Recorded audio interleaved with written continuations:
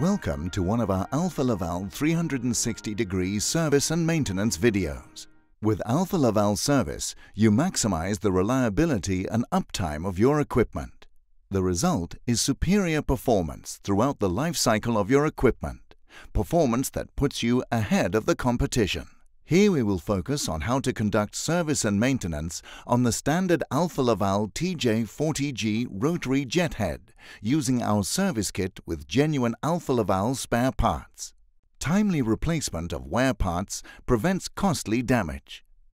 Follow the instruction manual regarding maintenance intervals and the use of service kits. Remember, always read the instruction manual thoroughly to make sure you cover all maintenance steps. This video only shows you some of the steps. To maintain the Alfa Laval TJ40G rotary jet head, these tools are required. Each Alfa Laval service kit contains all the spare parts you need. How to replace parts using a major service kit. Start by removing the bushing from the planet gear frame.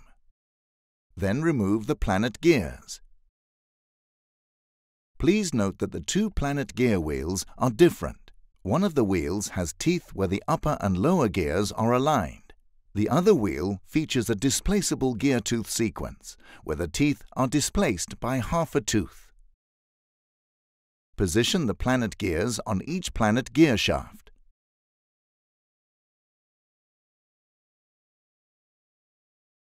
Mount the planet gear bushing on top of the planet gear frame. Use the impeller shaft to apply pressure to the planet gear bushing.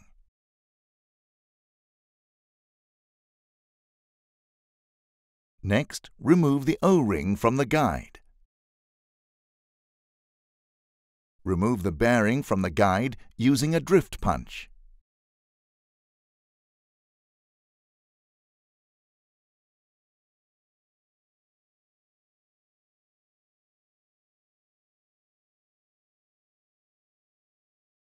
Insert the bearing for the top of the turbine shaft into the guide and press in the bearing.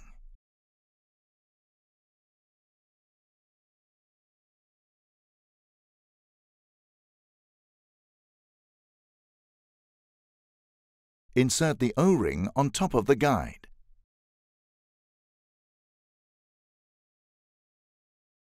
Remove the O-rings from the nozzles Check nozzles for foreign material. Mount the O-rings into the groove on the nozzles.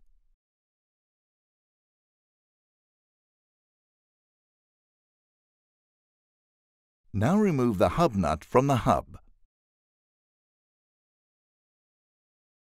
Remove the ball retainer with balls from the hub.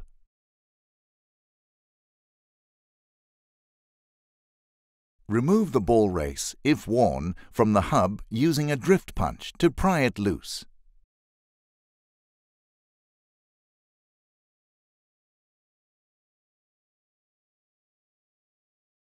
Mount the ball race on the hub using a support ring.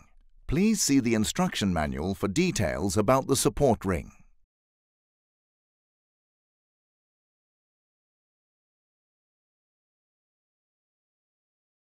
Press the ball race and the hub together in a bench vise.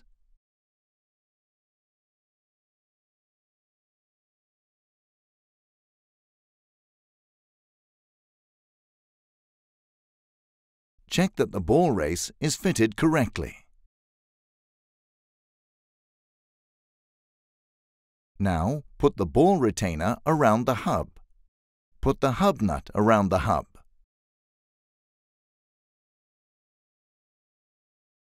Remove the O-rings from the stem. New O-rings will be mounted during the final steps of assembly. Remove the stem nut from the stem. Remove the ball retainer with balls from the stem. Remove the ball race, if worn, from the stem using a drift punch to pry it loose.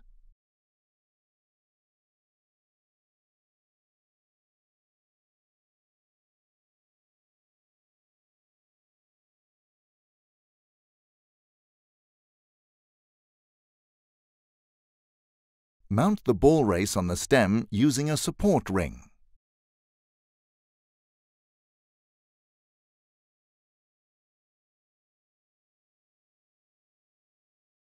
Press the ball race and the stem together in a bench vise.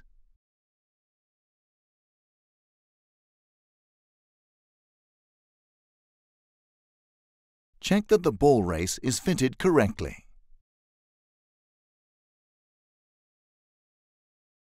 Remove the bearing from the gear ring using a drift punch.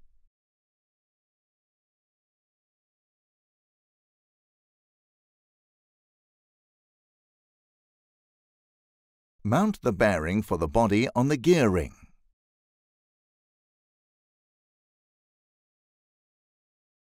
Use a drift punch and a soft mallet to fit the bearing for the body.